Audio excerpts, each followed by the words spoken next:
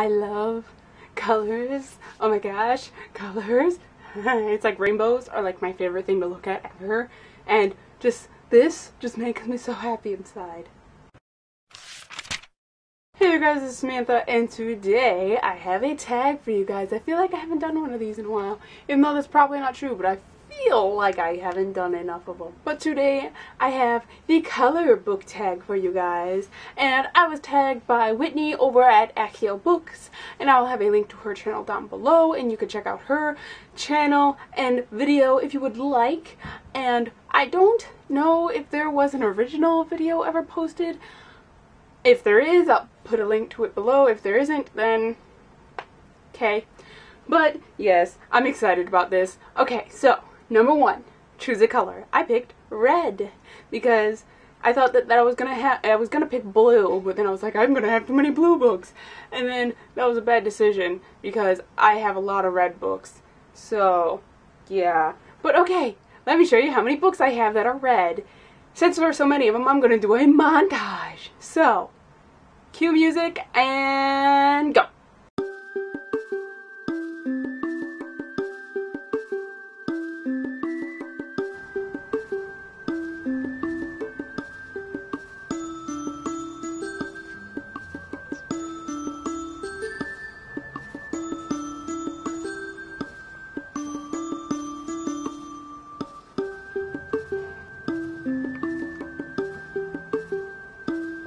Next one is to separate the read and unread books from your piles. And since there are so many books of these that I have read, I'm just going to show you the books that I have not read. I don't know if these are on screen, but these are the books that I have not read and I just fell into my bookshelf. But all of these books I have not read. Hopefully they're on screen. Yes. Oompa loompa doobity dee. I've got another question for thee. Is that even a thing? I don't know. And now on to the actual questions of this tag. And the first one is which one of these books are you the most excited to read? And I legitimately could not pick one out of these two books because I'm so flippin' excited to read both of these. So let me show them. The two books that I am super excited to to read is Vicious by V.E. Schwab, Schwab, and then You by Caroline Kepps, Knepp, Kepnes, but oh my gosh, I'm so excited to read these two books. Why am I showing you the backs of these books? I'm so excited to read these two books. Oh my gosh. So excited. the next question is which one of these books that you have already read are your favorites? And again, I could not pick one, so I picked two. I'm sorry, I'm so indecisive. But they're both my favorite authors and I couldn't not pick them. It is Fire Study by Maria V. Snyder and Impulse by Ellen Hopkins. And my favorite authors. You guys can't expect me to choose between these two. You just can't because it's cruel and unusual punishment. So no.